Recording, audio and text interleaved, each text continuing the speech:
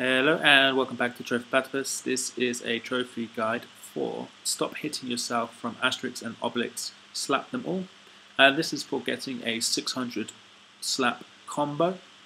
Now in the level 311 you can attack the mask and every time you hit it it will count towards your combo. Also, enemies do not spawn on this level until you go past the mask, so you're able to get all 600 hits on the mask without having to worry about enemies at all and this trophy becomes very very very easy. I'm going to leave the whole video going so you can watch the whole thing if you like or you can try it for yourself. I hope it was helpful and I'll see you soon.